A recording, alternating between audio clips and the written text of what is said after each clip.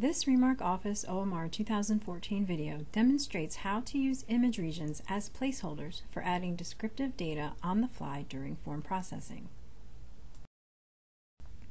The Prompt for Fill feature uses an image region to hold space in the dataset so that when you process forms, you can enter a description for the batch of forms being recognized. For example, if you process conference evaluations, you can enter the name of each session so that it is tied to the processed data. This feature is great for things like conference, session, training, and course evaluations, and the like. Let's take a look at how it works.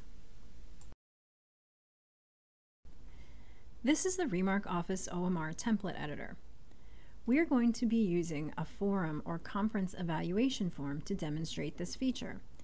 Many times you have session evaluations when you're at a conference where you use the same form for every session, but when it comes to analyzing the data, you want to be able to look at the sessions individually to make comparisons. A great way to do that is to put an image region on your form and then use our fill options to capture that session name when we process the forms. Let's take a look. So we've set up our, our image region called session. I'm going to double click to look at the properties.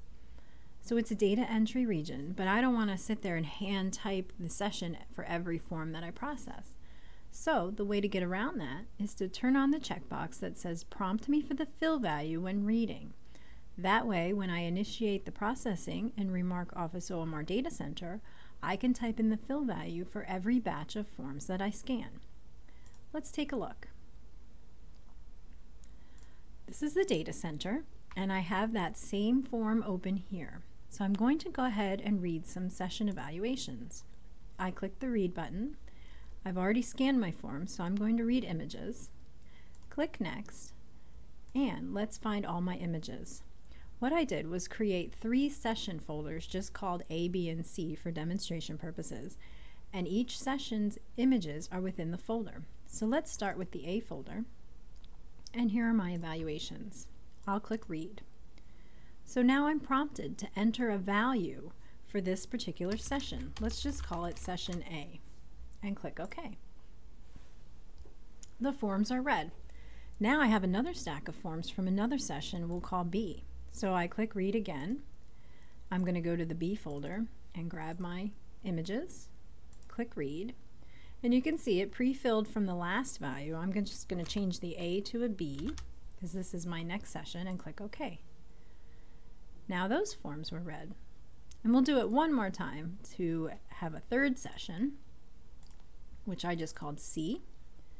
So let's add those forms. And this time we'll change the default fill value to C and click OK. So now in our data set, we have three different sessions set of data. We can analyze everything together so we can get an overall picture, we can also break this down now by session quite easily. So let's go ahead and do a quick survey to get into Remark Quick Stats. And I'll show you one report that would be great to look at a breakdown of the data. So on the left task pane is all of our reports, and we'll click Survey and Item Statistics Reports. And I'm going to do a comparative item report.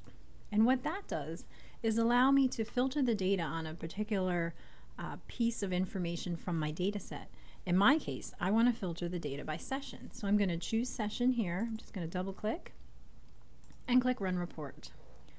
So now I can see, because I entered those names for every session, I can see a breakdown of every question for each session A, B, and C.